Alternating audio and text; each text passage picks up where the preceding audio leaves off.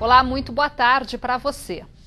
Depois dos Correios, que já estão parados há duas semanas, agora os bancários de todo o país também iniciaram hoje greve por tempo indeterminado.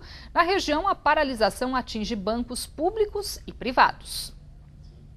Em São José dos Campos, cartazes foram espalhados nas agências, mas muitas abriram normalmente nesta terça-feira. Segundo o sindicato, que abrange outras nove cidades da região, a paralisação atinge 30 das 109 agências bancárias no Vale do Paraíba e 10 das 27 instaladas no litoral norte.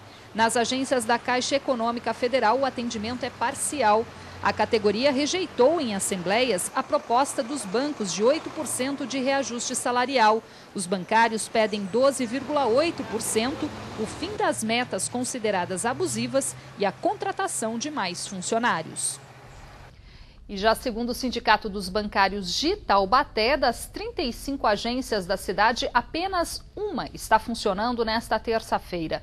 Em nota, a Febraban, Federação Nacional dos Bancos, informou que o reajuste de 8% oferecido contempla a correção de salários com aumento real e classificou a greve como fora de propósito. A entidade condenou qualquer atitude que possa prejudicar o atendimento e disse estar preparada para negociar um acordo. A Febraban também orienta a população a recorrer aos canais alternativos, como correspondentes bancários, internet banking e caixas eletrônicos para realizar as operações. O número de assassinatos no Vale do Paraíba voltou a subir no mês de agosto. O índice divulgado pela Secretaria, Secretaria, Estadual de Segurança Pública mantém a região como a mais violenta do interior de São Paulo. Em São José dos Campos houve aumento. Em agosto, oito pessoas foram vítimas de homicídio na cidade contra apenas dois casos no mês anterior.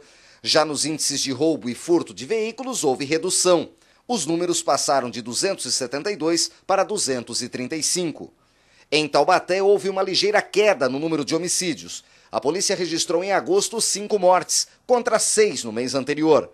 Já os índices de roubo e furto de veículos subiram. Foram 124 registros em agosto, contra 99 em julho. Em Jacareí, houve queda no número de mortes. Foram cinco vítimas de homicídio em julho, contra duas no mês de agosto. Os roubos e furtos de veículos tiveram um pequeno aumento. De acordo com os dados da secretaria, os casos passaram de 87 em julho para 88 em agosto. E o novo balanço da violência também será um dos temas da reunião do Conselho de Segurança de Taubaté, marcado para hoje no quartel da Polícia Militar. O encontro aberto à população começa às 8 da noite. O 5 Batalhão da Polícia Militar fica na Avenida Independência, número 247. Atenção motoristas, a mudança no trânsito no entorno da Praça da CTI em Taubaté, prevista para ontem, começa a ser colocada em prática hoje, gradativamente. Na tentativa de dar mais fluidez no trânsito, a Prefeitura reduziu de cinco para duas as vias de acesso ao local, um dos mais movimentados da cidade. Mas por causa das obras que estão sendo feitas no trecho, os congestionamentos são inevitáveis. As obras que ampliam o acesso na rua Benjamin Constant, continuação da Tiradentes, já estavam concluídas, mas um vazamento da rede de água da Sabesp adiou a liberação do trecho, que deve ocorrer agora à tarde. Enquanto isso, os motoristas precisam ter paciência, já que o trânsito está mais lento no local. Antes, cinco vias davam acesso à Praça da CTI. Agora o caminho fica restrito a duas ruas: a Professor Luiz Augusto Silva, que vem da Rodoviária Velha, e a Avenida Benjamin Constant, onde foram feitas as obras que agora também recebe o fluxo dos veículos que saem do viaduto da Avenida Charles Schneider e que em alguns dias não poderão mais seguir reto pela Rua dos Operários. A Prefeitura também alterou o sentido de duas vias que contornam a praça. Na Rua Padre Diogo Antônio Feijó, o sentido foi invertido, com fluxo apenas em direção à Praça Santa Terezinha.